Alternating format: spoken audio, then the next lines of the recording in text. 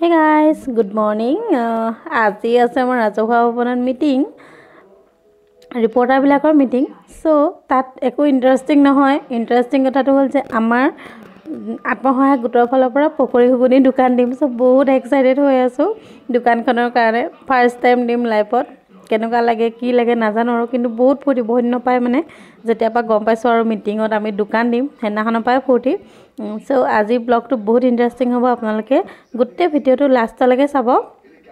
তেতিয়াহ'লে আহকচোন ভিডিঅ'টো আৰম্ভ কৰোঁ। চ' এইখিনি দোকানৰ বস্তু ৰেডি কৰা হৈ গ'ল বজাৰৰ পৰা আনিলে। ইয়াত আছে জলকীয়া নিমখ আলু আদা এইটো পলিথিনত চাহৰ বস্তু এয়া বন্ধাকবি পকৰীৰ বাবে। চাই থাকক চাই থাকক। দোকানত আমি কি বিকিলোঁ?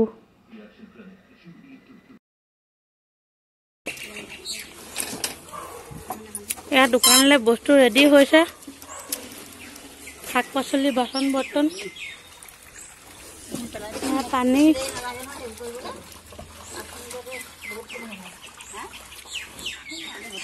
আমি ঠেলাত থৈ যাম ন? দোকানলৈ যাবলৈ ওলাইছোঁ। তিনিজনী। বাকীখিনি দোকানত দেখাই আছোঁ।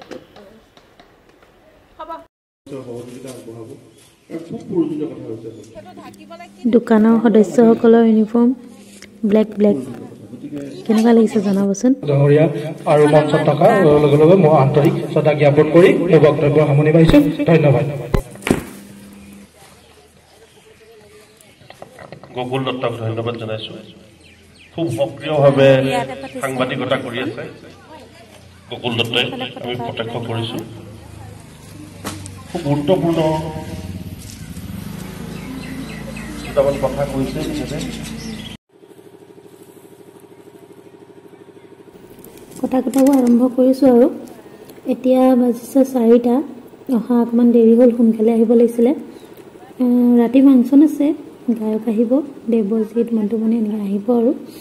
চ' আমাৰ ঘুগুনি বনোৱাই নাই পকৰি বনোৱাই নাই মানে কাষ্টমাৰ আহিলে ঘুগুনি পকৰি বিচাৰি। চ' এফালে কাটা কুটা কৰিছে আৰু এফালে বনাবলৈ লাগি গৈছে। এইফালে ঘুগুনি ৰেডি হৈ গ'ল। তাৰপিছতে এইখিনি পকৰি অলপমান বিক্ৰী হ'ল অলপমান আছে। এইখিনি আৰু ঘুগুনিৰ কাৰণে ৰেডি কৰা হৈছে। বাকী এইবোৰ পেপি চেখৰ মৰ্টন বিস্কুট চিগাৰেট চিপছ কিবা কিবি আৰু। বাকী এইফালে আমাৰ সদস্যসকল কাষ্টমাৰ নাই মোবাইল টিপি বহি আছোঁ। এয়া আলহী। আলহী ব্লেক গোটৰে সদস্য হয় বিশেষ কাৰণত আহিব নোৱাৰিলে।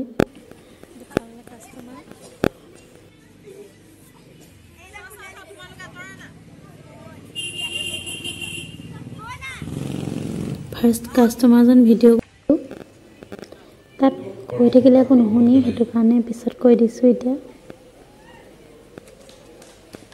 এতিয়া বৰ বিশেষ কাষ্টমাৰ নাই সেইটো কাৰণে অকণমান ফাংচন জনাইছো। ফাংচন মানে আৰম্ভ হোৱা নাই মানুহ কম।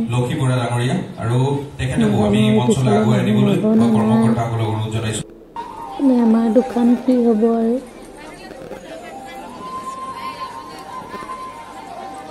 মিটিঙত ইমান মানুহ নাই। কিন্তু এতিয়া ৰাতি এঘাৰটা বাজি গৈছে। গায়ক ষ্টেজত উঠিলে এতিয়া মানুহ চব কিমান মানুহ ভৰ্তি? যিমানে মানুহ আহে আমাৰ কাৰণে ভাল কাষ্টমাৰ পকৰি ঘুগুনি বিক্ৰী হ'ব। আৰু এতিয়া আমাৰ মানে চাওঁ কিমানটো ভিডিঅ' কৰি দেখাব পাৰোঁ। এতিয়া কাষ্টমাৰ নাই কাৰণে অকণমান ভিডিঅ' কৰি থ'লোঁ। মানুহ ভৰ্তি মানে আমি দি দি দি ভাগৰ লাগি গৈছেগৈ। ৰাতিপুৱালৈকে থাকিম। কিমান কি কেনেকৈ পাৰোঁ দেখাই থাকিম চাই থাকিব ভিডিঅ'টো। বহুত ভাল লাগিলে দোকান দি। লাইফত ফাৰ্ষ্ট টাইম দোকান দিছোঁ। মানে এনেকৈ পকৰি ঘুগুনি দোকান। কেতিয়াও দি পোৱা নাই। মানে কোনেও দি পোৱা নাই। আমাৰ মানে আত্মসহায়ক গোটৰ ফালৰ পৰা ফাৰ্ষ্ট টাইম দিছোঁ। বহুত মজা লাগিলে। আৰু কিমান কি বিক্ৰী হ'ল জনাই আছোঁ। মানুহ চব বাপৰে মানুহ।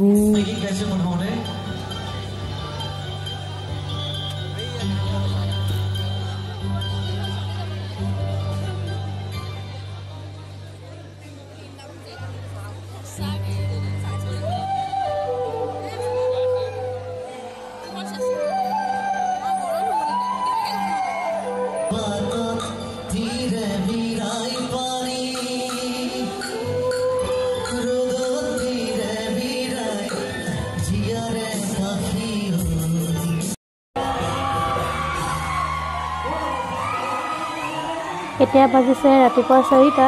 এতিয়ালৈকে ফুল জোচ হৈয়ে আছে। অলপ পিছতে সামৰিম আৰু দোকান। মানে গানটো শেষ হ'ব হৈছে আৰু। মানুহখিনিও যাবগৈ।